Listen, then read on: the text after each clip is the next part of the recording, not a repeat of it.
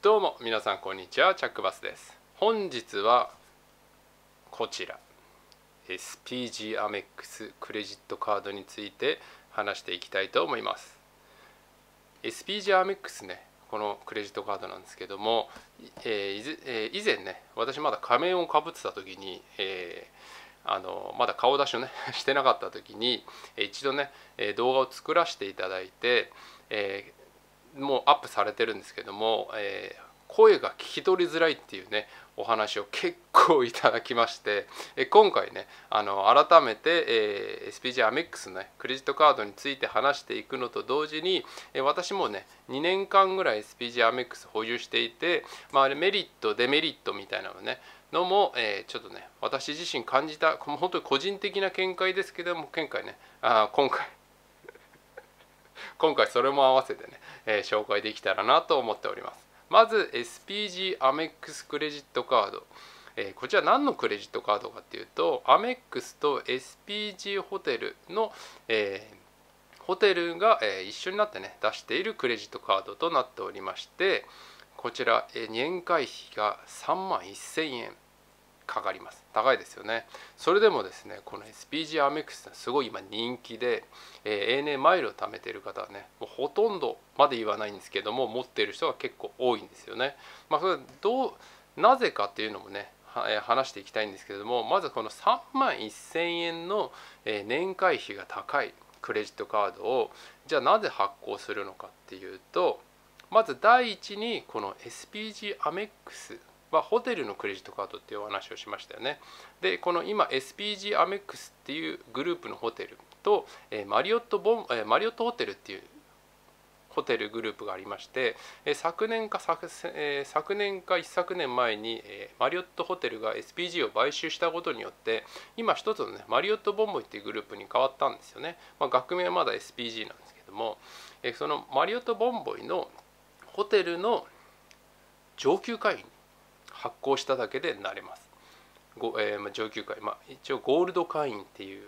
えーえー、一番最初はシルバー会員で次にゴールド会員なんですけどももう一個、えー、真ん中のねゴールド会員になることができます。それがこれを発行するだけでなれるんですよね。発行するだけになる。じゃあ発行する、えー、ゴールド会員になると何がもらえるかっていうとまず、えー、客室のアップグレードだ本来一番安い部屋を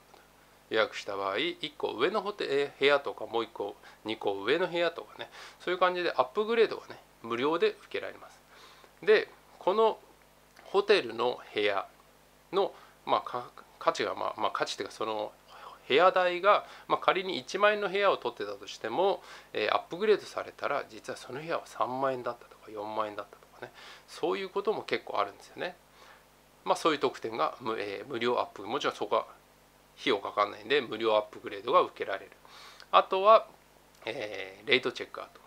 レレートチェックアウトっていうのは本来ホテルって、まあ、11時とか10時2時とかそのぐらいがチェックアウトですよね。それがレートチェックアウトできる。少し遅れて遅れてチェックアウトできるんですよね。でゴールド会員の場合は、えー、本来11時が12時ぐらいねチェックアウトしなきゃいけないのが午後の2時まで。まあ、利用できますよっていうのがこのゴールド会員になっております。で、まあ、そのレートチェックアウトも客室のアップグレードも、まあ、もちろんねあのホテルの状況によってねあのされたりされなかったり、まあ、レートチェックアウトはねそこまであの渋ら渋られるっていうか利用できないことはあんまり私経験ないんですけどもアップグレードあるないはねやっぱり繁忙期とかそういう時によってね利用できたり利用できなかったりっていうことがあります。えそれではね次に、えー、3万1000年会費がかかってマリオットのゴールド会員になれて、えー、アップグレードあとレートチェックアウトがね利用できたりまあその他にもねいくつか特典あるんですけどまあ基本的にはまあそこが大きい特典かなって個人的には思ってまして、え、さらにね、え、この入会キャンペーンをずっとやってるんですよね SPG アメックスっていうのは。ですので入会して3ヶ月以内に10万円を使うとこちらのホテルのポイントがもらえるんですよね。まあ、マリオットボンボイポイントっていうポイントがたまるんですけどもそちらのポイントがたまります。でそれのポイントを貯めるとマリオットボンボイの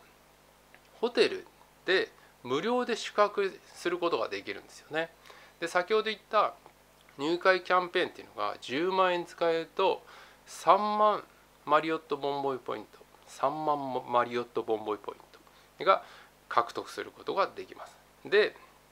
10万円使ってますよね。まあ、年会費を入れるとまあ13万円ぐらいまあ使うんですけどもあまあかかるんですけどもそれを使うと3万円3万ポイントの入会ボーナスとプラス、えー、10万円使った分のポイントで3万3000ポイントがもらえるんですよね。この入会キャンペーンを、えー、全部こなすと。3万3000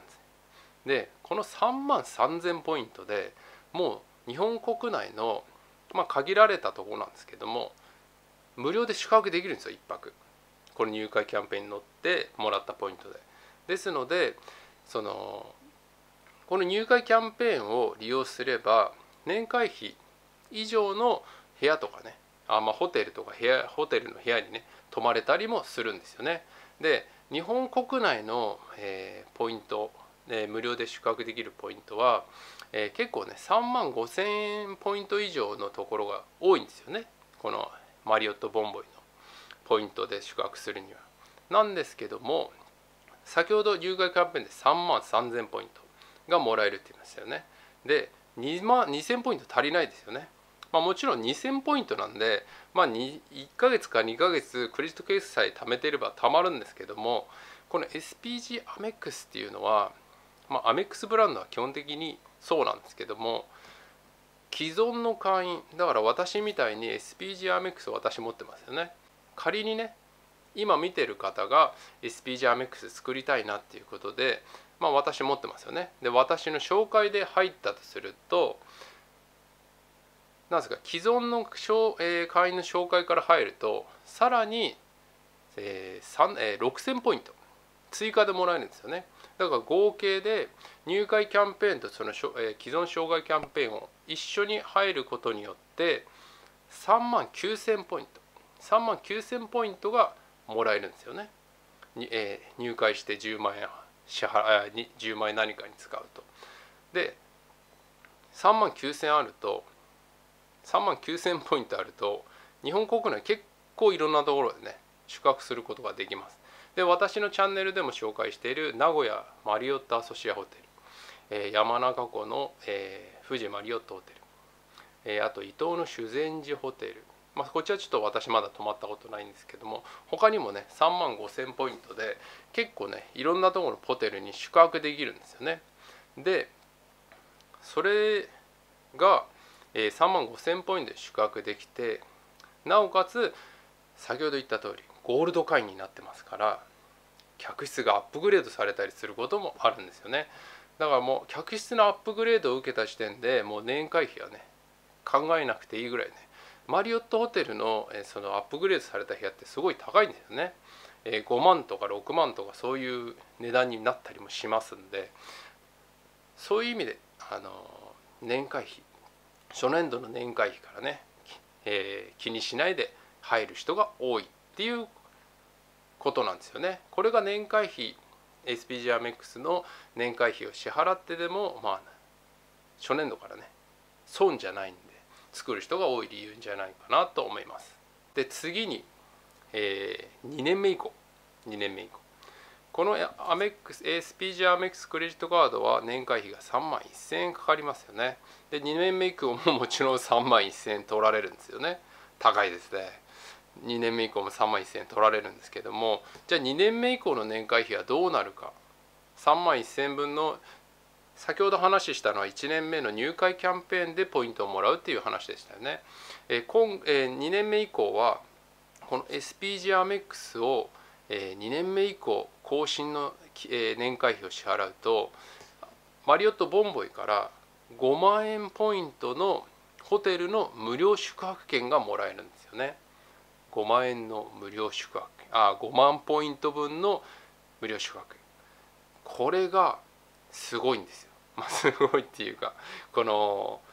年会費が初年度の年会費を相殺するために、えー、既存の人から紹介してもらってキャンペーンに乗ると3万9000マイルもらえるっていう話をしましたよね。まあ、それでいろんな国内で泊まれる3万5000円ぐらいのねポイントのホテルが泊まれるっていう話をしましたけども2万2年目以降は5万ポイントの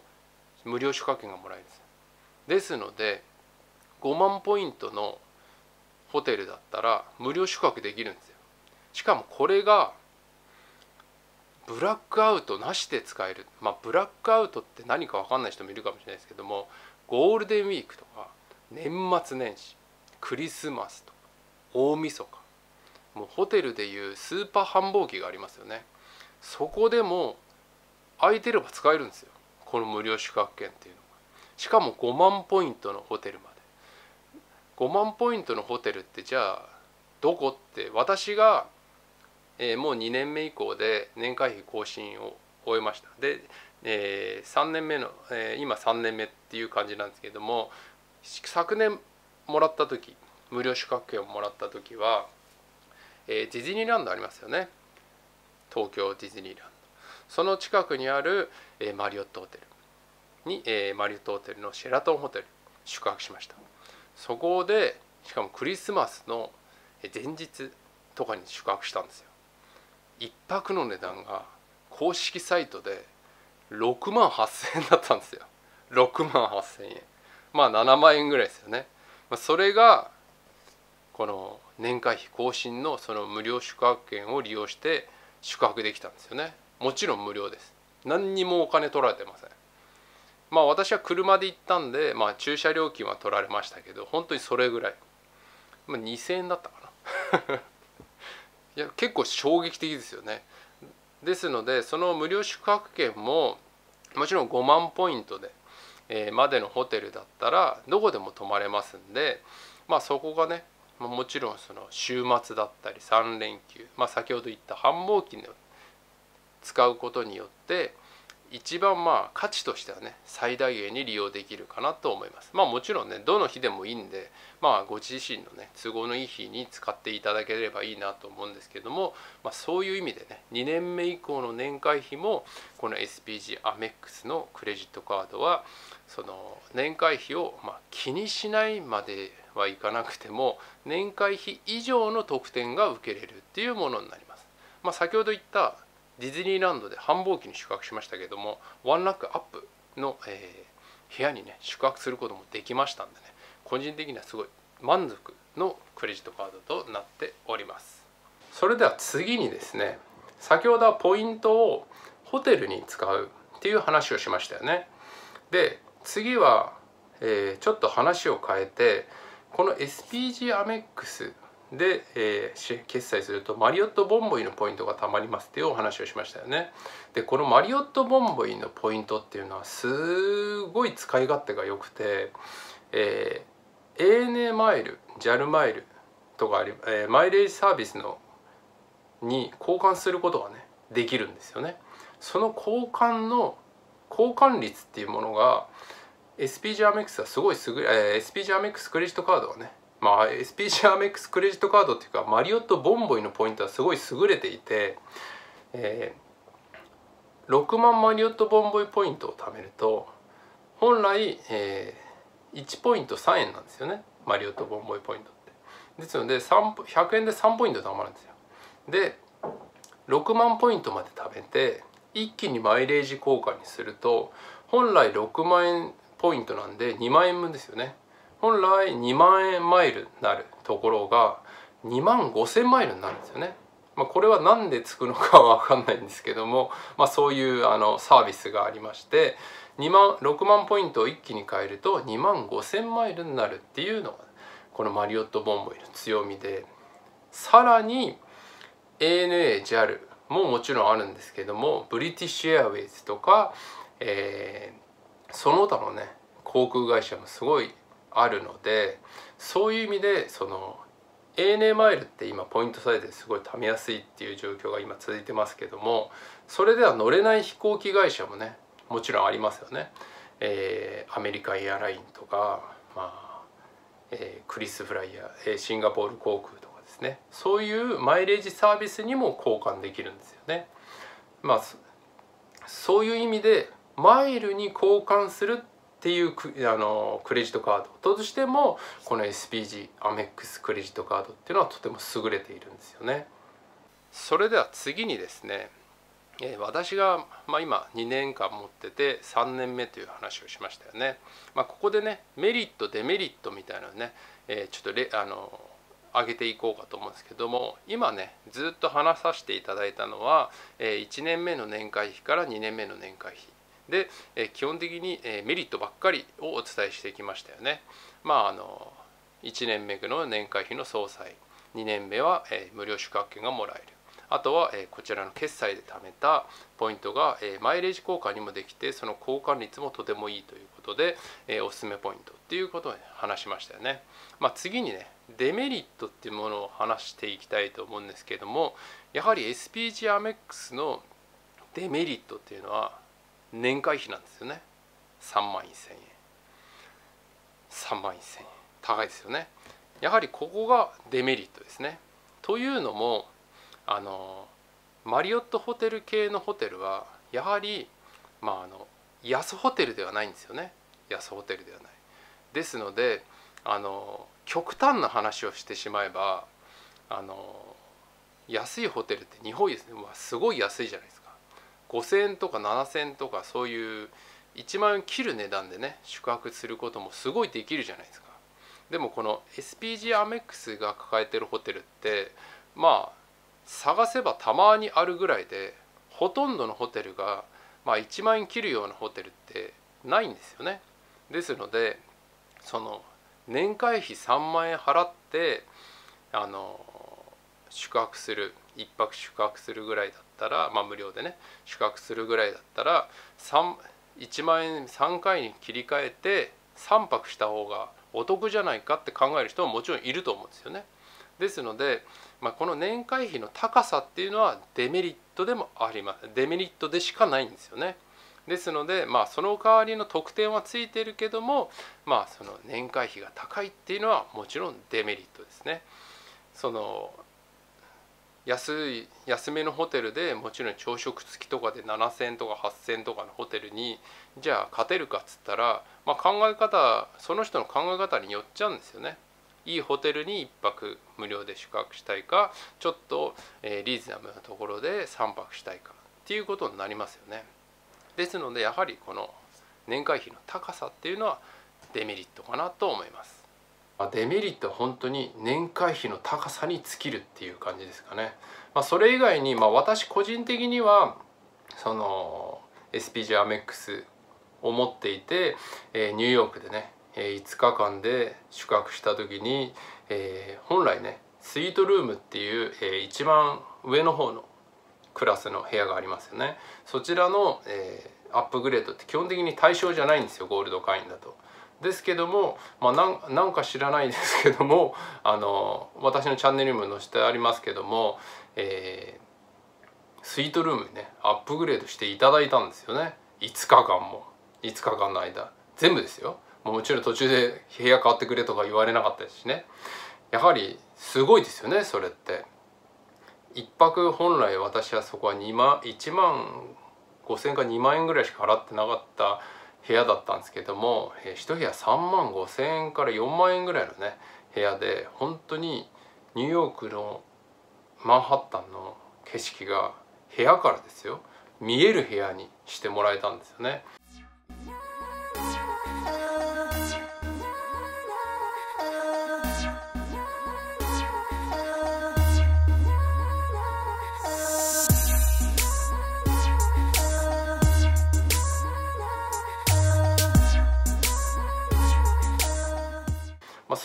やっぱりこの SPG アメックスを持ってたからそういうサービスを受けれたっていうので、まあ、それでね結構心を奪われてしまったところはあるんですけどもあと、まあ、メリットデメリットってなるとそういう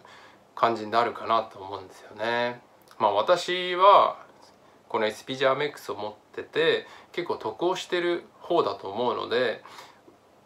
そんなにデメリットっていうのはねその年会費の高さぐらいしかね出てこないかなって言ったところです。ちょっとね話は長くなってしまったんですけども SPG アメックス今回紹介させていただきました。えー、まああの細かい特典はね結構他にもあってもともとこちらアメックスのブランドなんでアメックスのね独自の、えー、サービスとかもね受けれるんですよね。ですのでまあ全部が全部知りたいっていう方はねちょっとブログの方も見ていただけたらなと思います。